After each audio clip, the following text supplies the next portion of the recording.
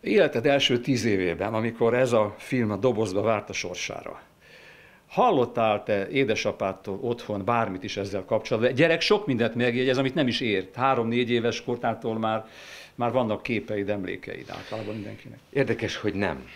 Érdekes nem. A, a filmmel én fiatal ifjú kamaszkoromban találkoztam először, akkor még apu élt, 14-es éves volt, amikor apu meghalt, 84-ben halt meg, és én azt hiszem 12-13 évesen láttam a Tanú című filmet.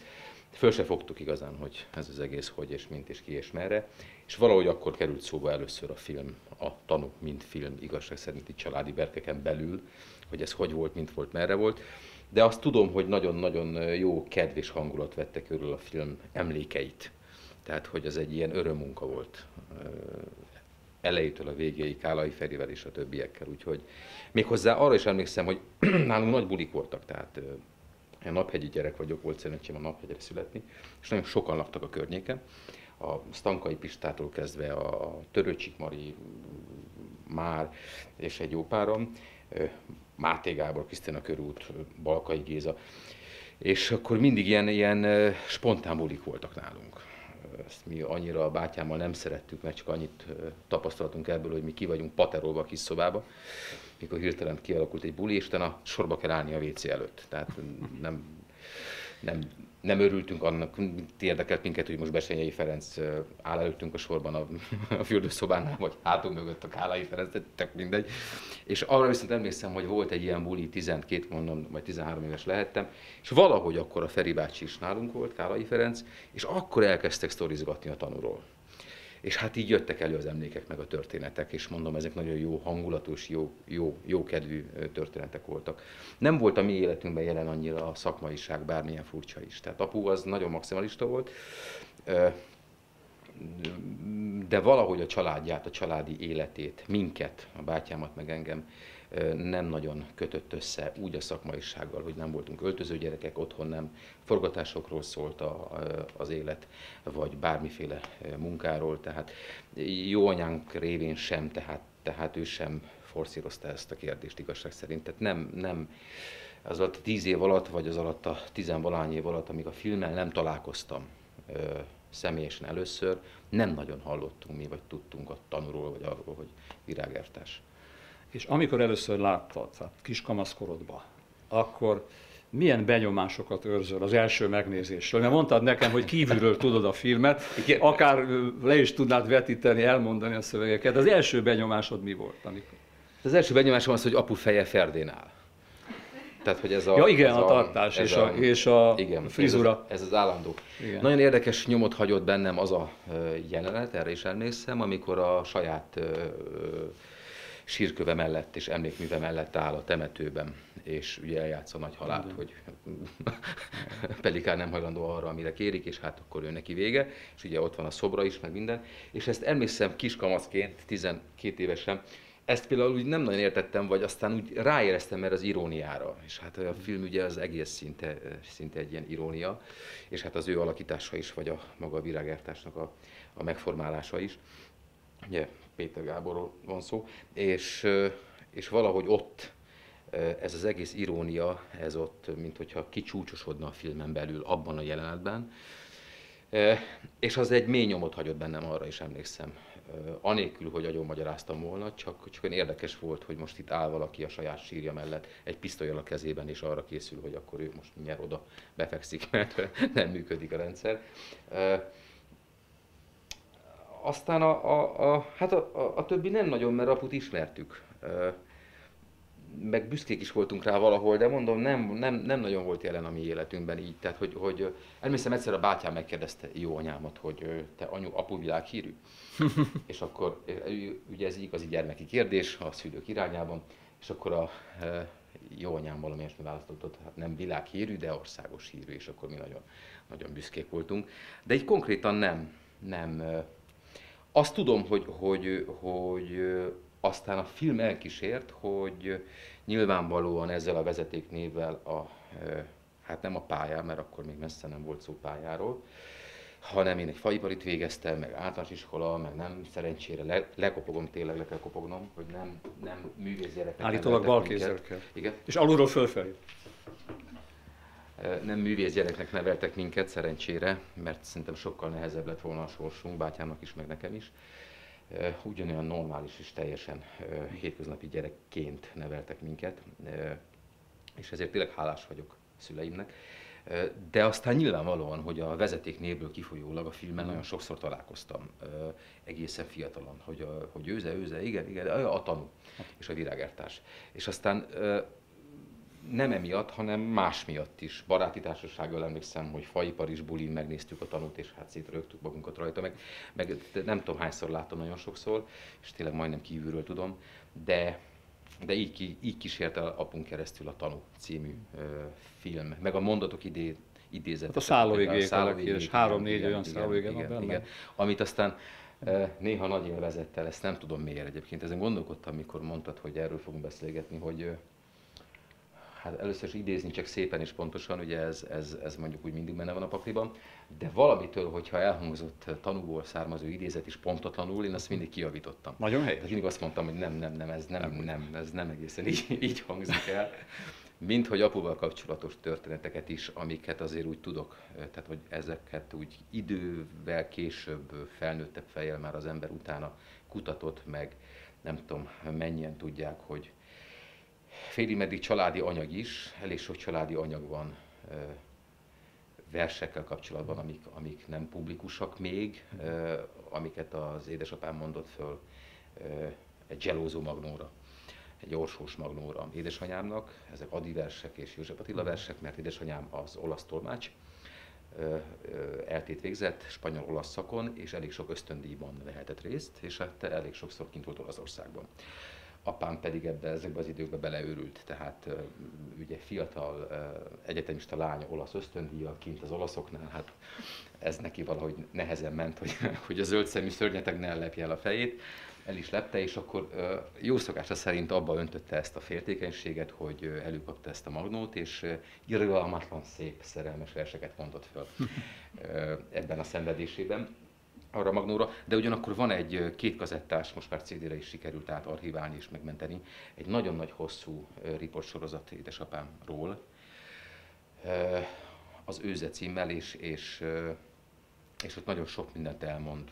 Elmondja a híres történetet, az egyforintos történetet. Az őskaján, Latinovics, Latinovics meg egyebeknek, hogy, és akkor ezek a történetek mindig keringenek ugye a szakmában, a pályán, hol büfé szinten, hol komolyabb szinten, és akkor ezeket is a tanú történeteivel és sztoriaival együtt is mindig valahogy úgy éreztem, hogy helyre kell tenni. Tehát, hogy Azt kérdezném még tőled, hogy nagyon sok jeles, kiváló színész, mondjuk neveket Gábor Miklós, Latmics, Darvas Iván írásban, élőszóban nyilatkozott, hogy igazából nem szereti a filmezést, a színház az igazi.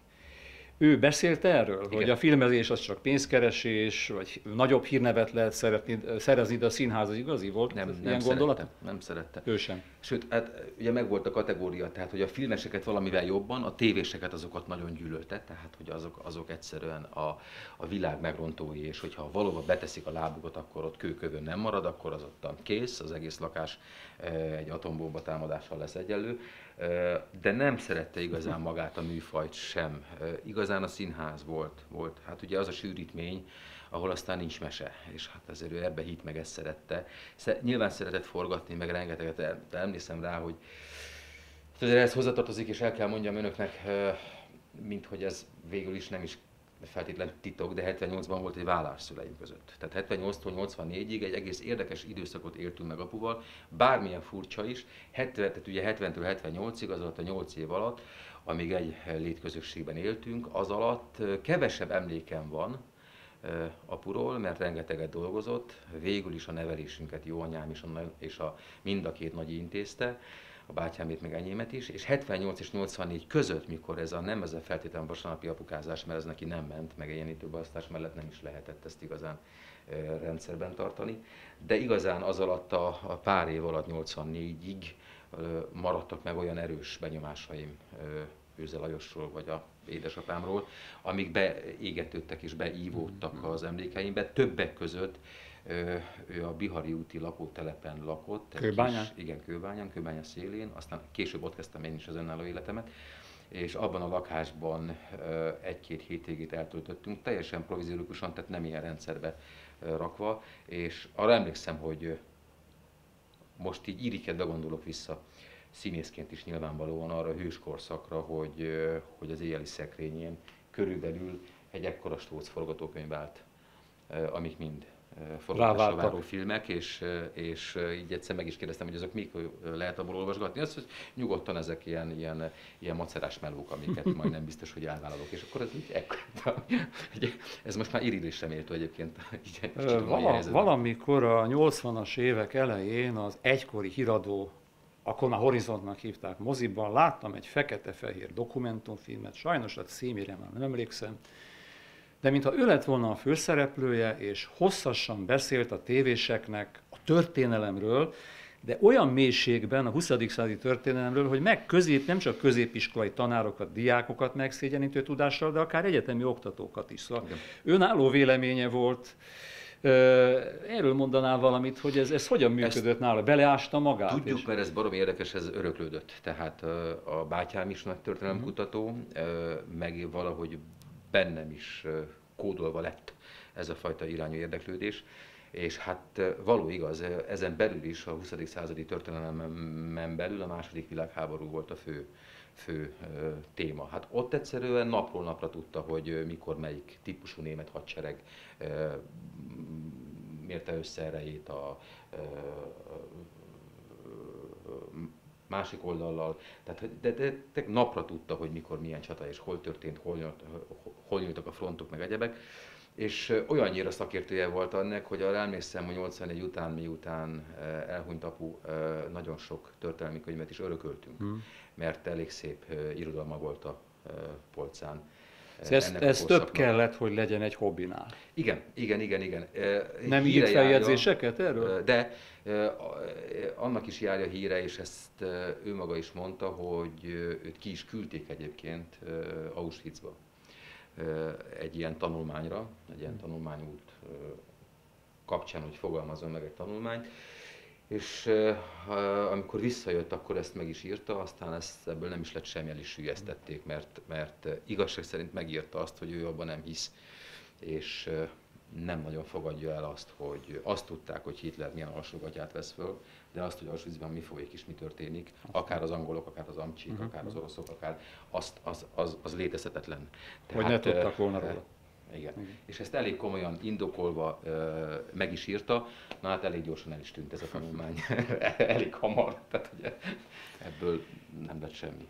Befejezésül nem tudom megállni, hogy egy nagyon személyes kérdést ne tegyek föl. Ugye elkészült volna az ő főszereplésével a Hányozóra Vekker úr, amit nem tudott végigcsinálni, Bacsó Péter azután Jordán Tamással forgatta le a filmet, de készült egy verkfilm erről.